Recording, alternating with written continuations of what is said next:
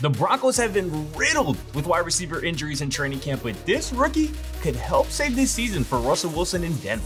Here's how.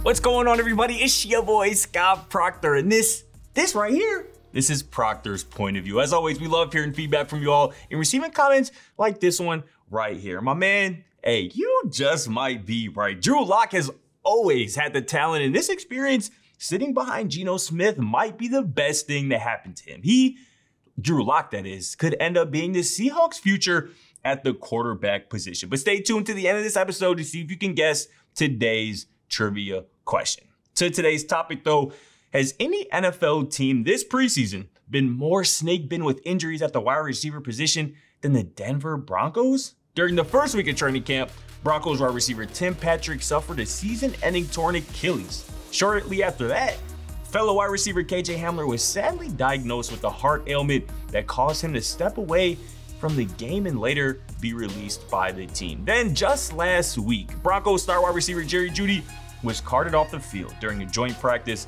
with a hamstring injury. Jeudy is expected to miss several weeks as a result, and his week one status is currently up in the air. The recent run of bad injury luck for the Broncos wide receivers, it's not new either. Their projected top four of Courtland Sutton, Jeudy, Patrick, and Hamler have played just two games together over the last three seasons that ain't great, especially for a quarterback in Russell Wilson who's coming off the worst season of his entire NFL career. But luckily for him and the Broncos, Denver used a second round pick during April's NFL draft on Marvin Mims Jr., an explosive wide receiver out of Oklahoma who is now poised to be the team's number two wide receiver along Sutton to begin this season. Mims has already impressed Broncos offensive coordinator Joe Lombardi. Here's what he had to say about Mims last week. You know, he's been hampered a little bit with the hamstring, so haven't uh, got to look at him as much as you hope, but he made a big play today. You know, he's got speed, plays hard, smart. Um, you know, was was was a playmaker in college, and uh, you know, again, it's just been a few days where you know, I don't think he's still quite up to full speed, but um, you know, it was encouraging to see that play he had today, and those are the kind of things we saw in college. You know, the ability to stretch the field, and uh, you know, we're, we're, we're hoping to see more of it as this camp goes on. Earning the praise of Lombardi is one thing, but getting a vote of confidence from Sean Payton is another thing entirely. Payton used his first draft pick as the Broncos head coach to select Mims with the 63rd overall pick in the second round.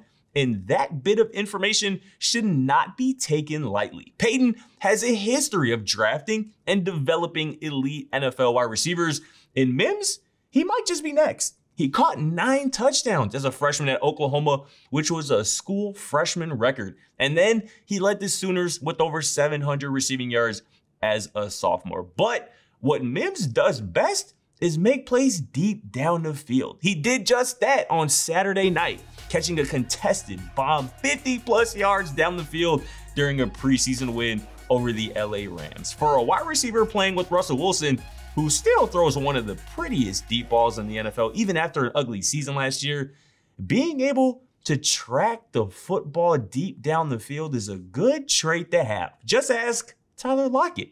I'm not saying Marvin Mims is the next Tyler Lockett. I'm just telling you not to sleep on the Broncos rookie wide receiver this season. But back to the trivia question, the one that I teased at the top. Who holds the Broncos rookie record for most receiving yards in a season?